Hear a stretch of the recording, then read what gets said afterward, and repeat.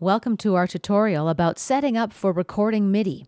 In this lesson, we're going to be setting up for recording from an external MIDI instrument like a keyboard or synth.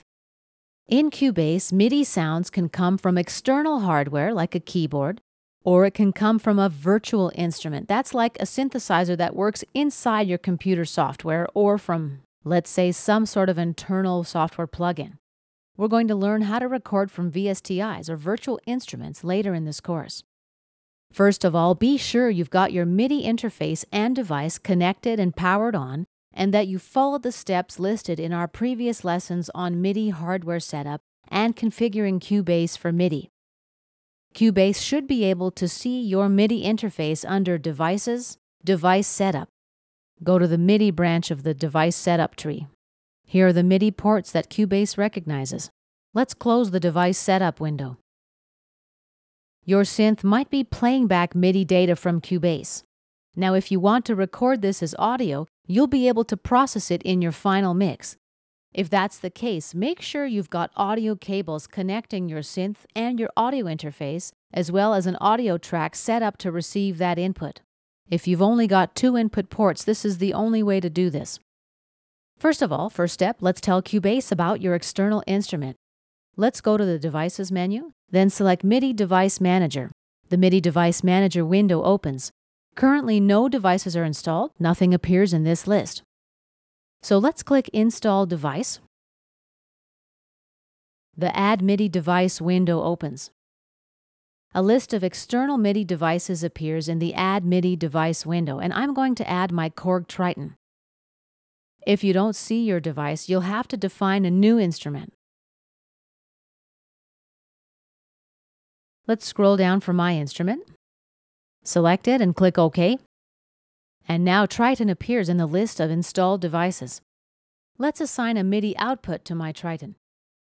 Select MIDI out from the Output pop-up menu, and this lets Cubase send a signal to my keyboard so that it can provide the playback for any recorded MIDI data. What's cool about adding your instrument this way is that you're able to select patches from its banks right from Cubase. Okay, let's close the MIDI Device Manager window. In Cubase 3 and earlier versions, you used a MIDI track routed to a virtual instrument from the VST Instruments window. Now Cubase has an instrument track that substitutes for all this, just like Pro Tools, but remember, you can't use the same input ports for audio input buses and for the return bus on an instrument track. So if you've got a shortage of input ports like I do here, you can record and monitor MIDI with a regular MIDI track and an audio track that's receiving input from your external device. Let's begin by right-clicking in the track list area and select Add MIDI Track. We're going to add one track.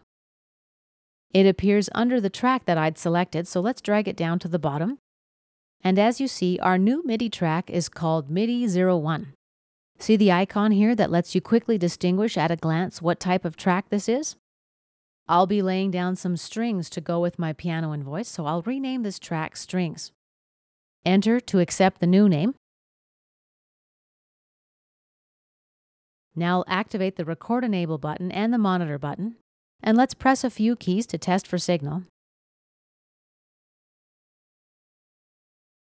Here are the MIDI in and out indicators on the transport panel. As you can see, we do have signal. Now let's set up an audio track to receive the audio signal from my Triton. This will make it easier for me to monitor. Let's right click, select Add Audio Track. One stereo track is fine, so let's click OK. And let's rename it. I'll call it Strings Monitor.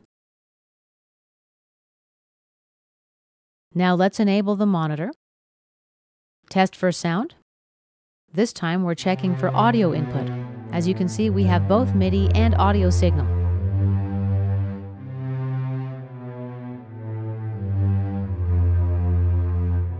What I'm hearing is the Triton playing through Cubase. That's the audio signal that I saw here next to the track.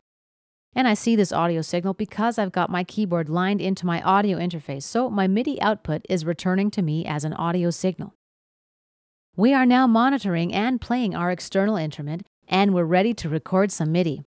This concludes our tutorial on setting up for recording MIDI from an external instrument.